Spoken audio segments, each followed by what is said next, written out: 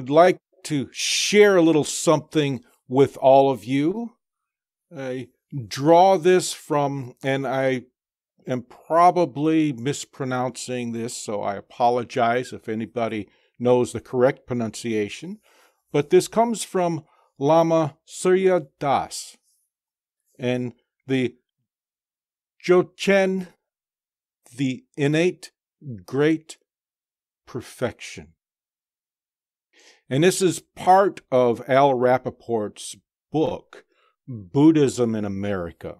And if you get an opportunity, it's a wonderful book. It's it's filled with short essays. And he tells us that while many ask how to meditate or how to become enlightened, they do not consider what to do with enlightenment when they achieve it. The integration of what is learned is more important than enlightenment. And satori, or enlightenment, means awake. And I often ask this question, and I'm sure many of you, as well as others, ask the same question What does it mean to be awake? And we can only reply with awareness, our awareness. Expand our awareness. Be more in tune with your environment. Be more in tune with yourself, especially with yourself. Because our culture reflects what we are. And if we see division in culture in our society, then many of us are divided within. And it is that unification that must come first before any other unification can occur. And I want to thank you for allowing me to share that little bit with you. We're going to talk a little bit about the science of continued life and reincarnation. And we're going to start with something from Hereward Carrington in his book, Your, Your Psychic Powers and How to Develop Them. Now, this book was published some time ago. I think it was in the 20s or, or 30s, maybe even earlier than that. And he tells us that there have been many contradictory teachings about the continuation of souls or the continuation of life. And the United Kingdom, well, guess what? You know how people are in the United States. They they like to to be different.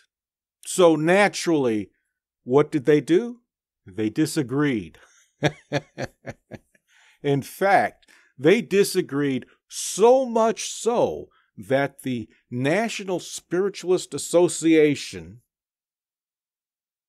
made it a crime in their organization to teach reincarnation. Imagine that. And we know how important that is because the only thing spiritualism does, the only thing mediumship does, is demonstrate that it happens. It's there. They communicate with these souls that move from this plane into the next. And the theory, we're going to look at just the communication right now. Or not the communication, I'm sorry, I should look at my notes more often. But the where it came from, this whole idea of the continuity of life. Because it is one of the oldest beliefs, probably the oldest belief. And in fact, it's what religion, the whole concept of religion, is built upon. And this belief came about through the most simplistic of events. It's no more complicated than well, we've got spring coming up. And what happens in spring? Okay, that's that's your opportunity to speak up. Renewal of life. Renewal of life. Exactly. And the Egyptians, I've got it on good authority that the Egyptians based their whole concept of the continuity of life. In fact, a lot of their early religion, before it, it got tampered with, was all about nature. And when we look at nature, when they looked at nature, they noticed that some of these plants would kind of drift off, go dormant, appear to appear to die. Some of the animals as well. And what happened a few weeks later? 90 days later, thereabouts. Well, they're back at it. So the continuity of life is it's just a natural event. It's part of the system.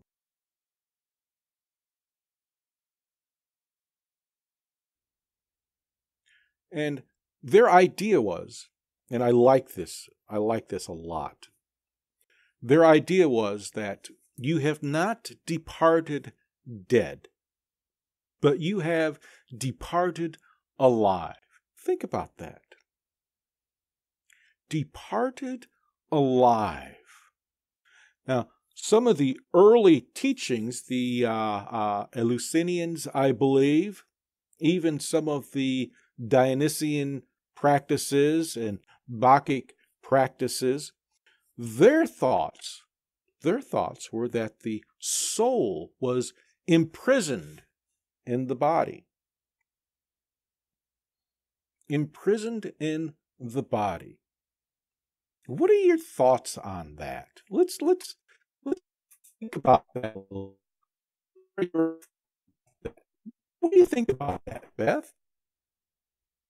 Actually, I, I, I like that idea. Um, I've always been fascinated with other the ancient mythologies, and I just I just think there's just a lot of truth in there that um,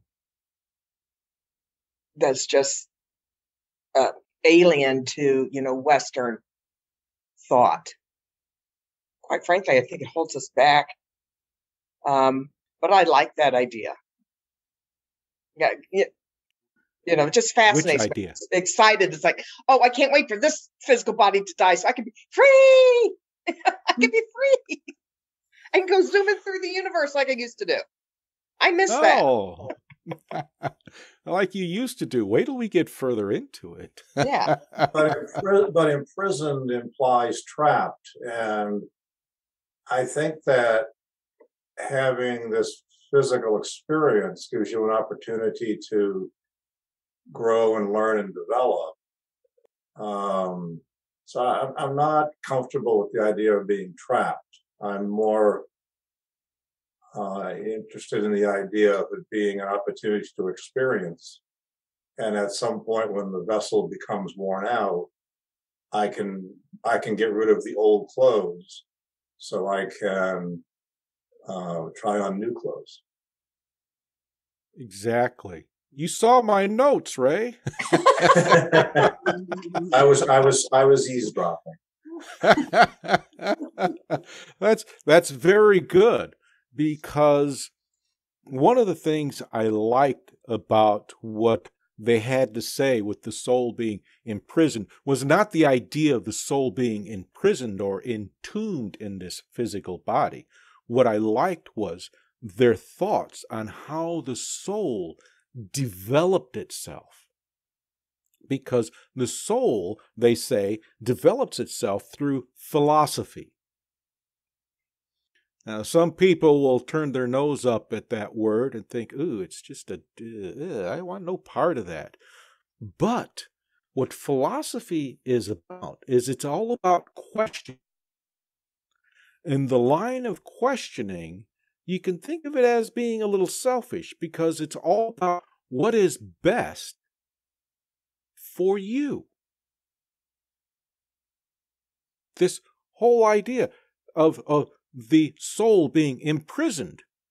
Ray presented us with a philosophical view of that, a philosophical summarization of that. because the way I see it, well, if my soul is imprisoned, it's not doing me any good. What good is a soul? What is good is anything that is imprisoned. So you begin to examine, you question, well, what kind of prison is this? Well, it's one that I experience life through. It's, well, it is an experience. But then again, you know, I've got all this crap I have to deal with. I mean, there's there's there's all this there's all this food, there's all this wine, there's all this partying and everything. Well, there's all these distractions. Well, are these distractions? Uh, see, that's what philosophy does. It encourages you to question what is it that's best for me? So the soul is looking for a way to to grow. So what are your thoughts about that, Sharon? Um everything you I mean all the things that were just said, they're all absolutely part of it. Um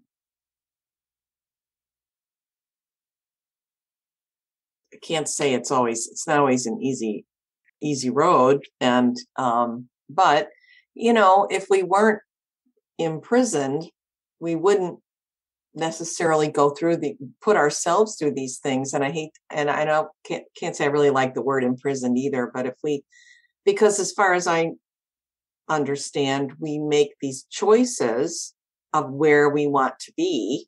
We decide before we come here this is where we want to be for a reason to learn the things we need to learn. So, you know, imprisoned is, you know, whether whatever you call it, we're here. You know, whatever however you want to word it, we've made this choice. So, um, you know, we have to we can accept it and learn from it, or we can fight it tooth and nail to the end. I guess if you if you really you know, if you want to push it and say, oh, well, I'm, uh, you know, I hate everything and I hate everybody and they make my life miserable and blah, blah, blah, or you can work with it and move on. And um, so, yeah, kind of, I'm, that's kind of where I feel too. Um, we don't know a lot of things for a good reason. You know, we don't know necessarily what what's going on for for the right. You know, we may want to know, but I, I'm always drawn back to the to the principles about or the seven spirits about not needing to know the timing. that's that is the that's the one that sticks with me constantly because I want to know the time. I, I don't I know I don't need to, but I want. So here's a question for you, and and you don't give me an answer, but it's something for you to consider from a philosophical vantage point. And that would be why would I choose all of this? Because the interesting thing that comes to mind, I was reading about this and and some of my other re- uh, research. And the idea with destiny, when we hear that word destiny, it's like, why bother? And, you know, destiny to me is like a plan. So if I'm up there planning out my life down here, I'm not comfortable with that because where's the fun? I can just sit back and and just be on autopilot and go through everything because it's all laid out. I laid it out for myself. It's just something to think about. I like yeah. Well, uh, if I might just say I I don't think that it's quite that laid out. And I would I would say in my mind that there's a there is a general plan, but my free will is what decides which which road I turn down, which direction I turn down. I still have free will. I there may be a a bit of a there may be a plan to some extent, but I'm the one who's calling the shots. Very good. Very good. I like that. Good job. Thank you. Didn't she do a good job, Ray? Indeed. good job. And what are your thoughts about that, Sandy? Now I forgot what the question originally was. But give me some thoughts anyway. Well, we we spoke about the word the term imprisoned and I guess I I like kind of felt like everyone else that it just it just kind of had a connotation of an of an of negativity. But um and and in in a broad sense but um um that you're stifled or you're confined. Um but my my view of it more was that one was deeply focused. I guess my feeling is that and instead of being imprisoned you're you're just simply focused on certain things. And it went back to what Sharon said about the plan. I, I guess I thought of it more as just as an overview.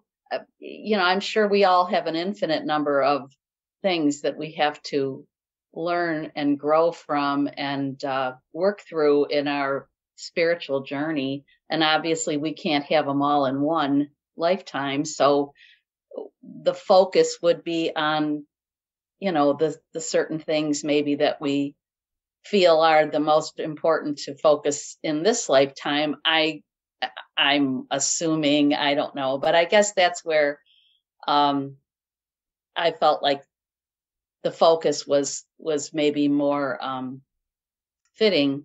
And um and then of course like sharon said we all have our free will.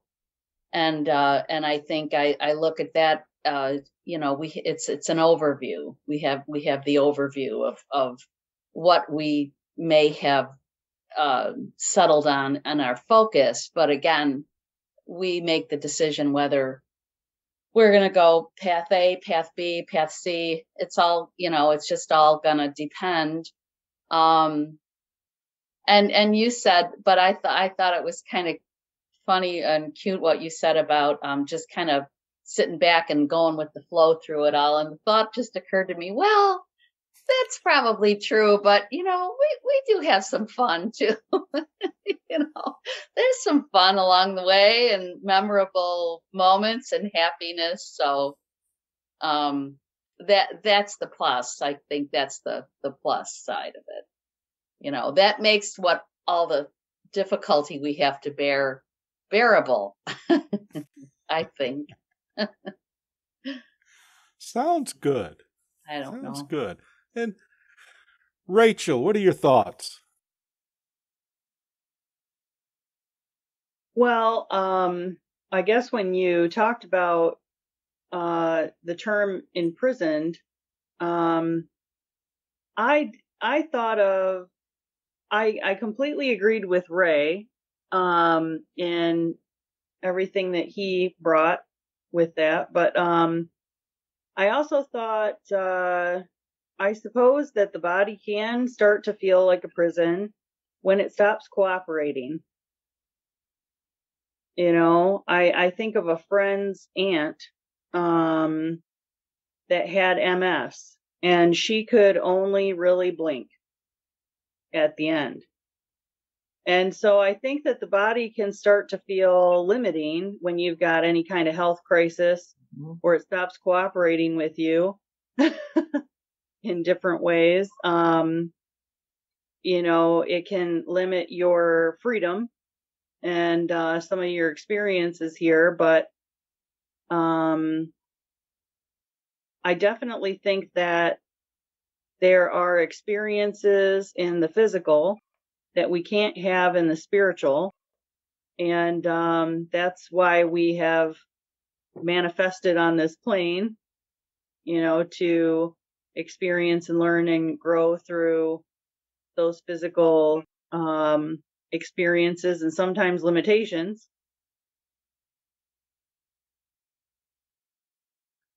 Good insight there with uh, with your friend's example.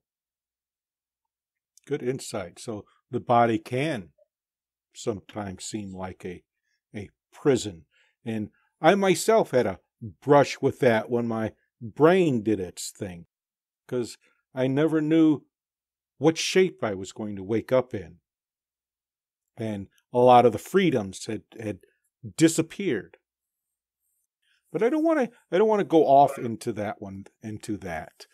Uh, and here's another theory about the continuity of life.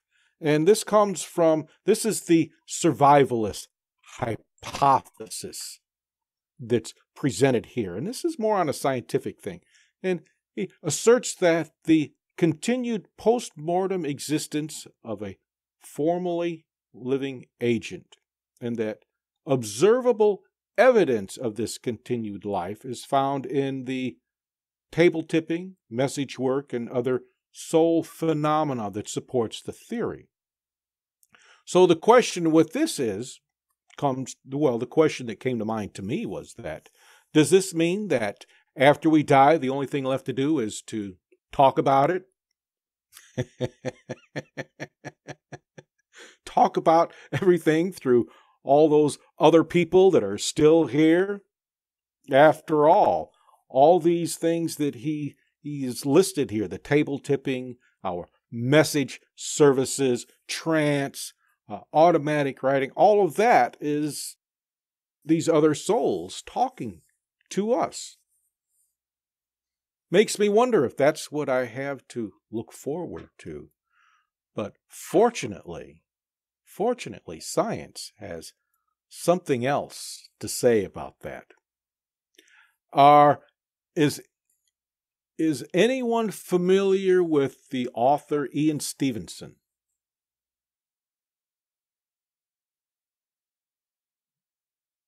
All right. He wrote several books. He is uh, uh, he took a scientific approach. I think he was a psychologist. I don't remember offhand, but he took a scientific approach to exploring reincarnation.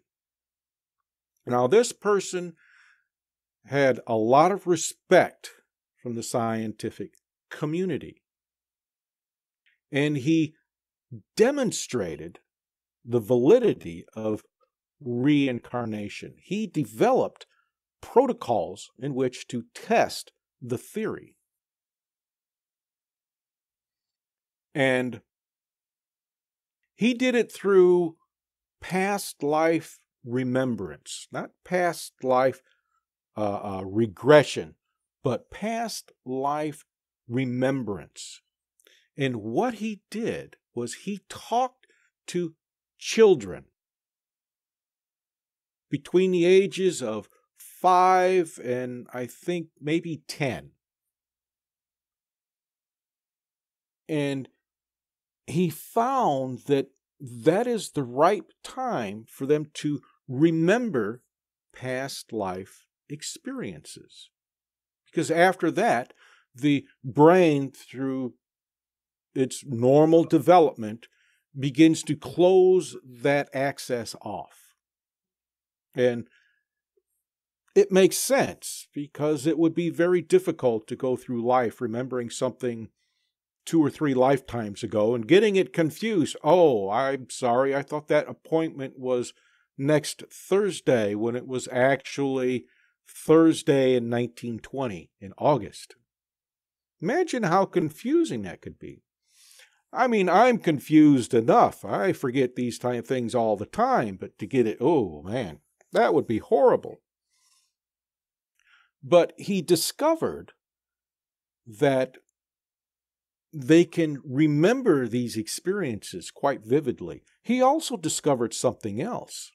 Some of the birthmarks that people have can be representations from a previous life. He discovered that some of these birthmarks represented how the person died in the previous life through a fire being a large scar or or a knife wound or other things like that. He also discovered that some of the malformed limbs that some of us are born with may also represent traumatic events from a previous life.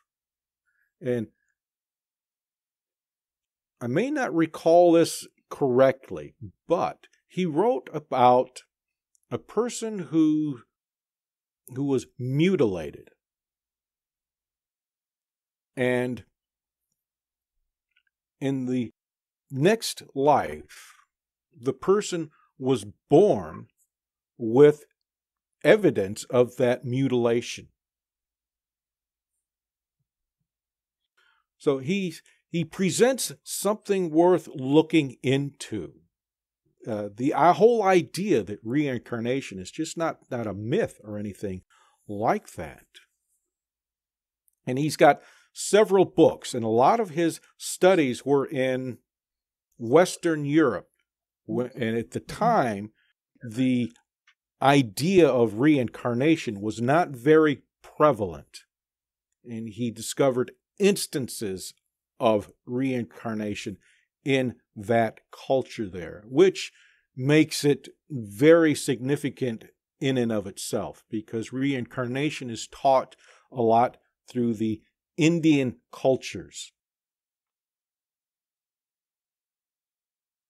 So here's a question for you Is reincarnation mentioned or alluded to in the Bible? Any thoughts? There was something about John the Baptist being Elijah. Very good. Very good. So it's there. We're always looking at nature, or rather, I should say, I'm always suggesting that we look at nature. And nature demonstrates a lot. As Ray said, the whole idea of the body being a prison is, well, it's just ridiculous. Yes, it can can seem like a prison at times, as Rachel pointed out. However, when we look at nature and what nature does, nature is all about growth, it's all about evolution, it's it's all about refinement. That's what evolving is. It's refining. So if we continue to look at nature, then the whole idea of reincarnation is a natural process. In fact, Stevenson even proposed that there was some form of attractor that was drawing us through this process. Nature also demonstrates cycles. Everything in nature occurs in cycles. The rainy season, the dry season, the winter. We've got all of these cycles. So it would just make sense that the soul spends time on this plane with a body. The soul spends time in another plane without the body. And if we continue with that progression, eventually the soul and the body are going to find a way to coexist in both elements. Of course, if we continue with with nature, there's also the possibility that they will become separated again and the whole process renews. But we don't know that, so we're not even going to explore that. But the, what I wanted to bring to you was how nature, how nature can explain some of these perplexing ideas that are introduced. And the one thing to keep in mind about those earliest religions, their origin was nature. Everything was based on nature. Beth, what are your thoughts? Oh, just that I agree. Know, you all know how much I like to get my hands dirty in the soil. So, you know, I feel very at one. And I'm out in nature.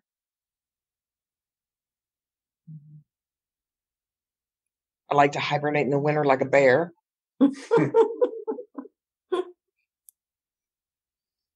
Feel renewed in the spring. So it just makes a lot of sense to me. All right, very good. And and Sandy, what are your thoughts? I I like the um, connection to nature. I, I guess I hadn't really thought a lot about that, but um, I do I do I do like it, and it makes perfect sense. It makes it it just aligns perfectly with what we're talking with reincarnation, what we're talking about. Um, um, yeah, I, I'm just thinking how I always look forward to spring, but I always look forward to fall, which I don't know why that came to me, but I guess the cycles have their own uh, inducements or their own their own enjoyments. Um, but uh, yeah, I I uh, I do I I like that, and and there was something that came to me earlier, and I just have to share it. That when my grandmother was alive, um, she used to talk about it, it, just what Rachel was saying about as we get older and we're um, our bodies don't cooperate, and she she was getting up there and she felt her limitations ser- severely. She felt that limitation, and she couldn't wait uh, to go so she could do just what Beth said to just soar. She just wanted to be free and soar the universe. And a friend of ours who just passed Bruce was a medium, and he told me after she passed that normally you have to have a little period of rest before one can do that, and that she was really fighting that. she had no intention of resting, she wanted to go. So, just little story. It just was so funny when you said that, Beth. It made me think of my grandmother just soaring and loving the freedom of not having that physical body. So just a little side story sorry mm-hmm. but anyway i yes i this is this is great. I would love it if we could talk about this more because i think it's i i i just i think it's a great subject. Yeah i hope we can we can talk about it some more going which, forward. which topic? Re- reincarnation. Reincarnation yes okay. yes. I will keep that in mind. Yeah. Thank you Good, good. And Rachel, what are your thoughts? Well, um, I had a few different thoughts as you were speaking on uh, some different topics. You had brought up uh, pondering, you know, what the afterlife is like, and if we just focus on the living. And um, it brought to mind that uh, medium that I uh, that really first was one of the first mediums I was kind of exploring and introduced to, James Van Praagh. He talked about, um, you know, going through a type of review after you pass and the Akashic records and reviewing your, you know, your different lives and what you accomplished in this life. And then classes, so to speak, on the other side that you can continue learning and different um, ways and venues there. And so that was, you know, an interesting thought to me, as well as um, how you could create, you know, whatever home you wanted, of course, with mental constructs. And, um, but, you know, and you need a physical tongue to eat an orange. So um, that, as well as some other things, might be what you miss about um, having a physical body.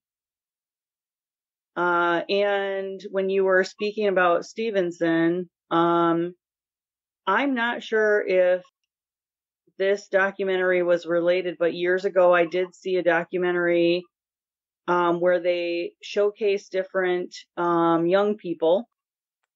Um, and one boy in particular really stood out who, you know, had detailed descriptions of the planes that he flew and um, the Mhm. names of the planes. hmm And um, I believe war details or I, I, something to that effect. I read his book. Oh, He wrote a book. They, his mother, his parents wrote a book about him. It's, and I can't think of it off the top of my head, but um, yeah, he, it- that was, it was an amazing story. Amazing. South, South Pacific. His plane went down in the South Pacific. And he, um, his name was James. And his former life, his name was James, which was really amazing. But yeah, I, yeah, his story was really, really, and I, there is a documentary. If you go on YouTube, um, it's called, oh my gosh, it's on the tip of my tongue, but I can tell you the name of it when I think about it again here. But uh, um, there's a documentary on YouTube about UpTube about it, and then he wrote. The parents wrote a book about him. He's a grown man now, but um, it was a really amazing story what he told. Um, he actually met adult men that he served with when he was 20 years old Mm, when they were 80 in their 80s. Yeah, it was Wow. really something. So, yeah. Yeah. Anyway, sorry, you didn't mean to interrupt, Rachel, but yeah, that's a good, it was a good story. So, Yeah, I'm glad that you remembered um, that boy. Yeah. probably got it on my bookcase here, but I, I just can't because I, I bought the book. I, I really liked it. So, mm, Yeah, I was really taken with his story too. mhm, mhm. Um, and there was a uh, another thing that came to mind while you were talking was that there is a, a psychologist who started to compile um, regressed hypnosis um, accounts. And uh, now I'm forgetting his name, but I've got a book by him somewhere around here.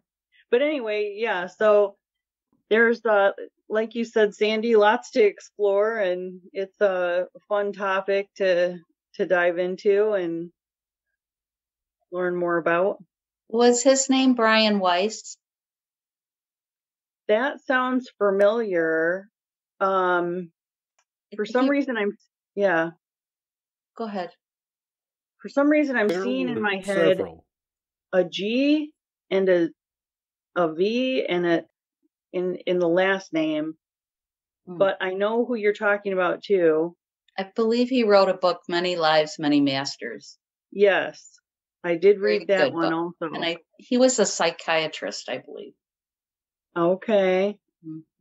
yeah, and Mhm. I gave um I gave that book to my grandma when she was um about to transition. She had bone cancer, and she seemed to get some peace from that.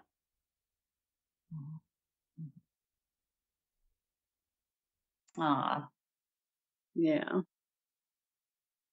I'm uh, I'm reading a book on holography. Actually, it's called The Holographic Universe, and the author mentions two or three uh, psychologists that were compiling information.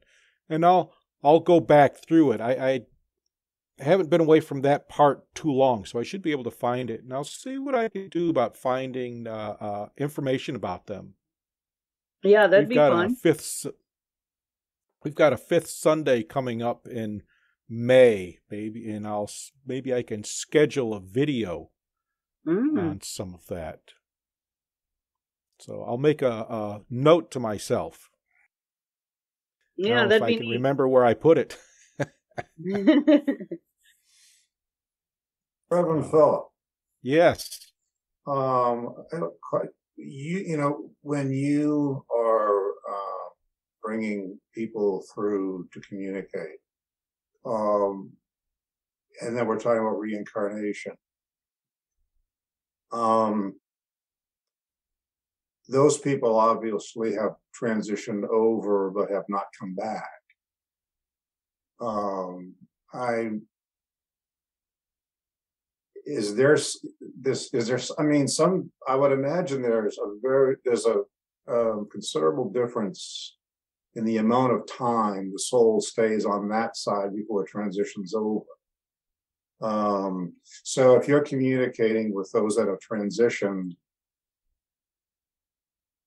I, don't, I don't know, I don't know that time exists outside of the physical plane. I mean, I don't know that there's such a thing as time on that side. So if there's not, the time they spend there could feel like an instant or it could seem like an eternity. Um,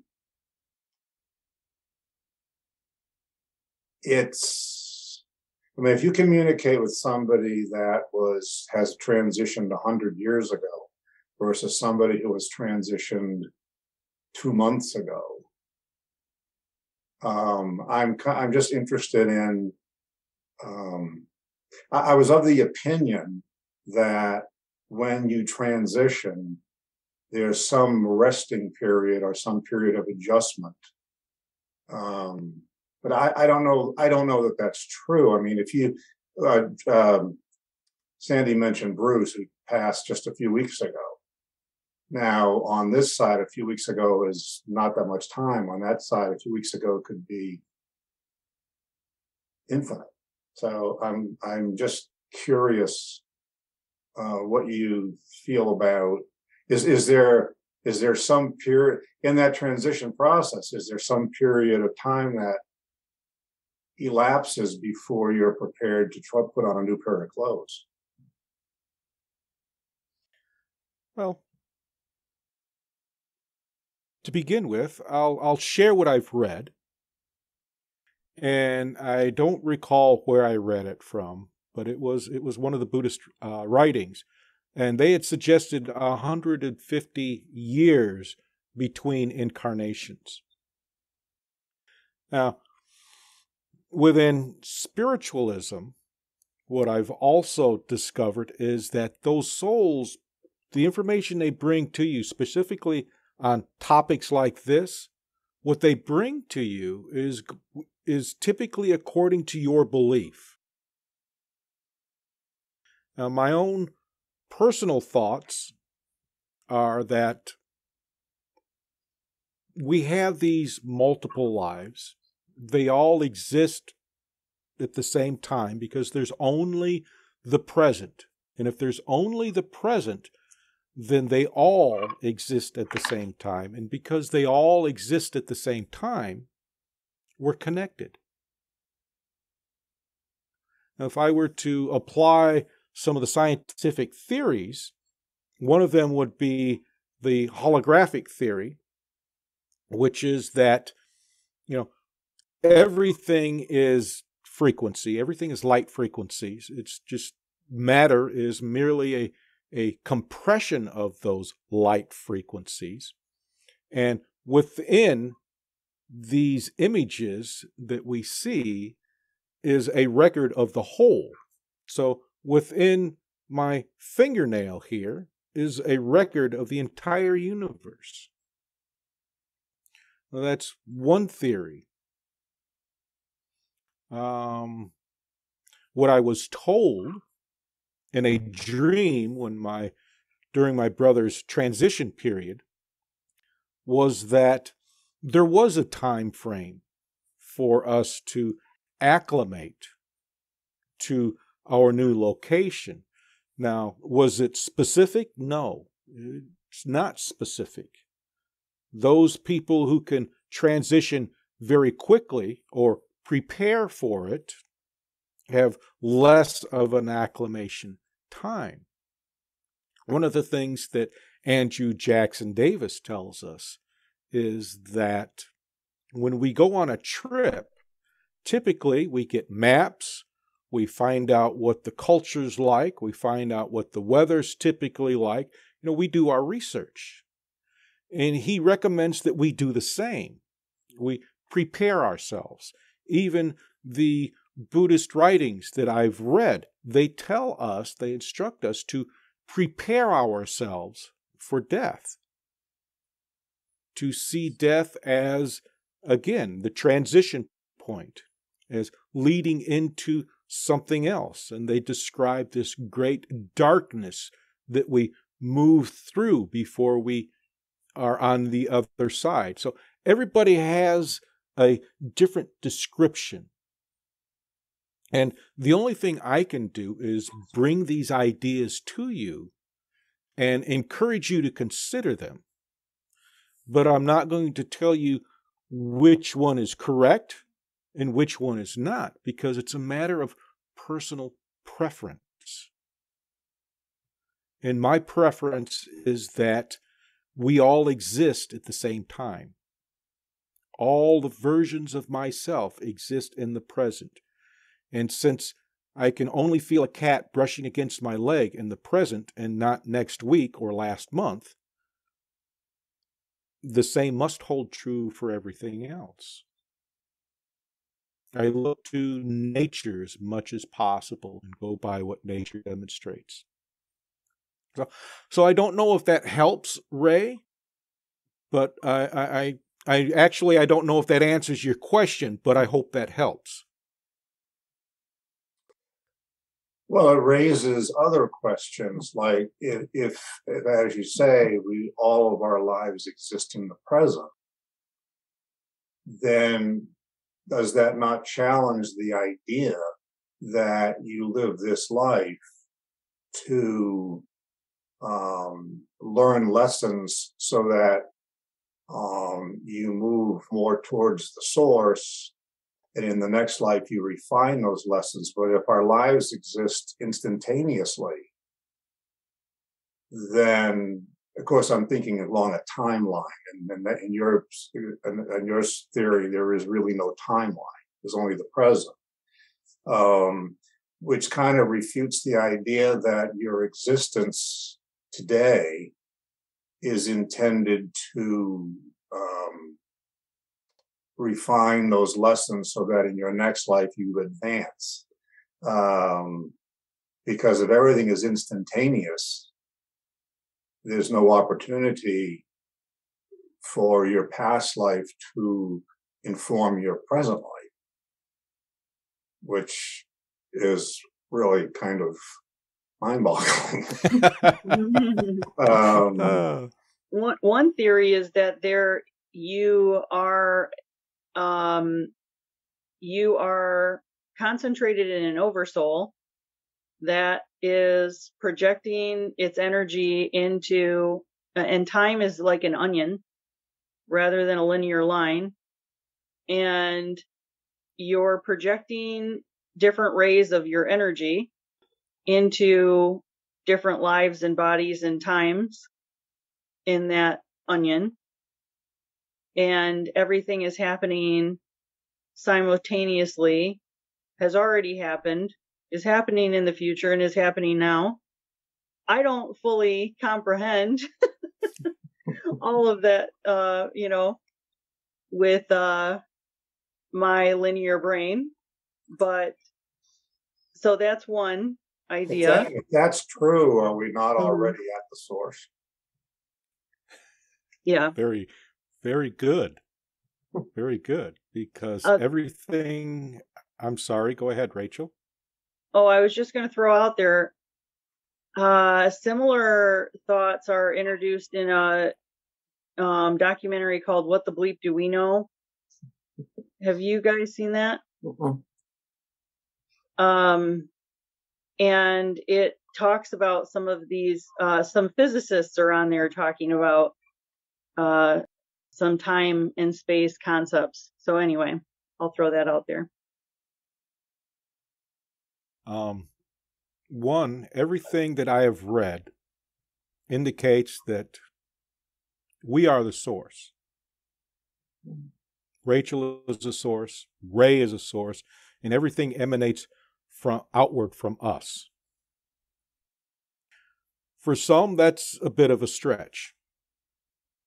The other thing is this mind boggling realm called the quantum field. And mind is non local, but the brain is.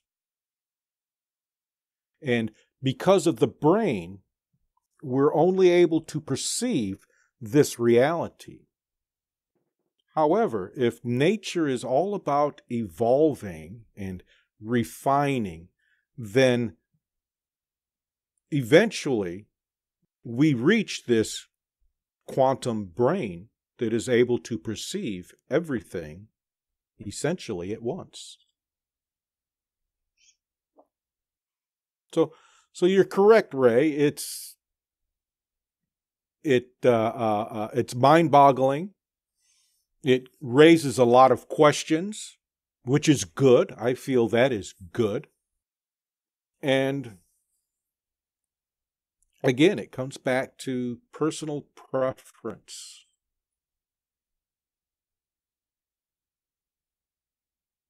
It's the Sometimes- wonderful thing about beliefs. Yeah.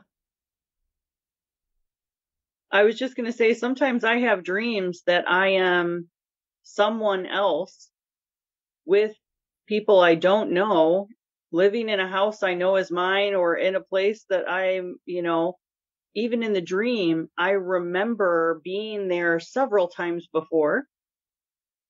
And sometimes I think maybe I'm visiting an, you know, an alternate concurrent reality. I don't know.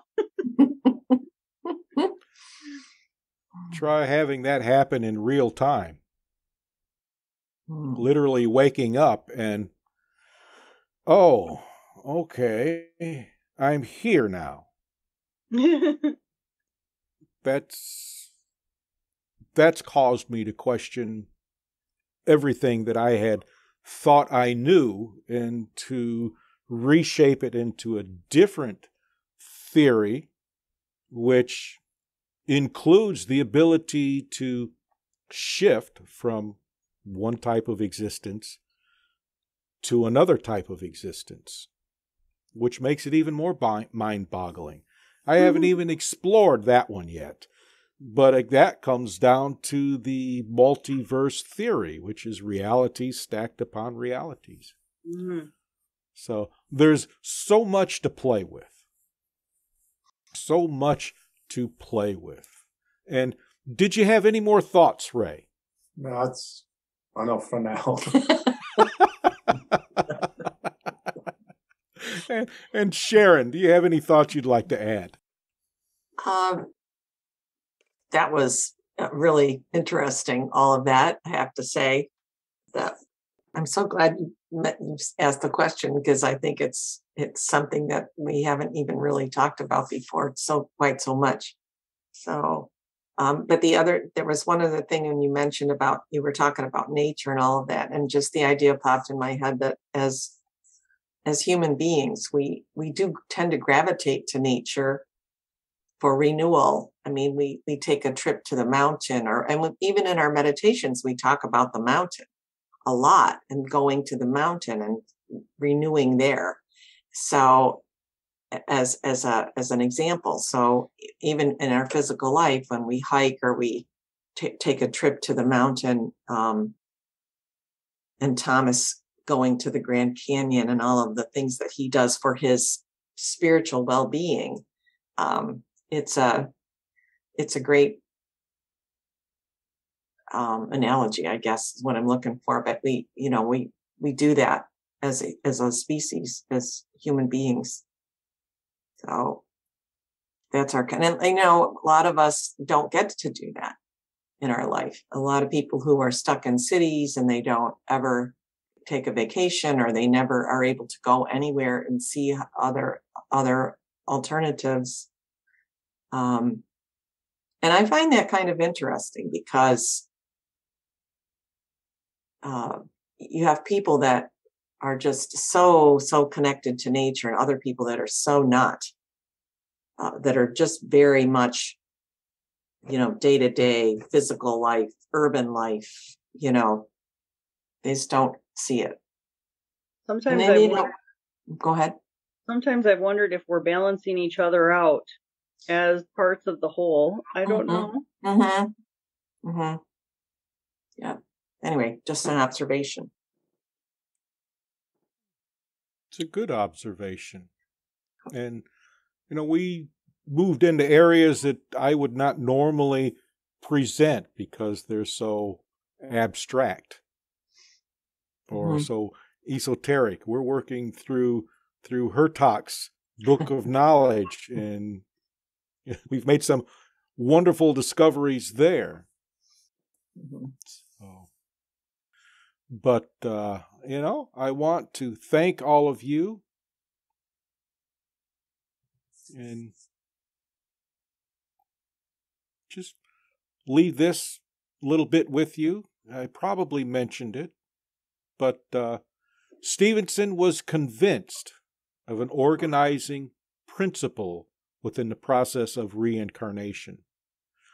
And because of this, it suggests that reincarnation is part of the overall plan because we we humans do so like a plan.